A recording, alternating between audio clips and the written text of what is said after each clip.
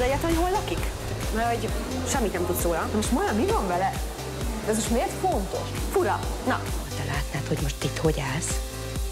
Hát ezt nem hiszem el. Hát, hát figyelj, rossz nézni. Nem kell a, a műhelyben. Hol van a barátnőnek a telefon? Honnan tudnám, hogy ez hol a te barátnőnek a telefon? Azt ugye! Éjjel-nappal Budapest. Ma 20 óra 35 perckor az RTL Klubon.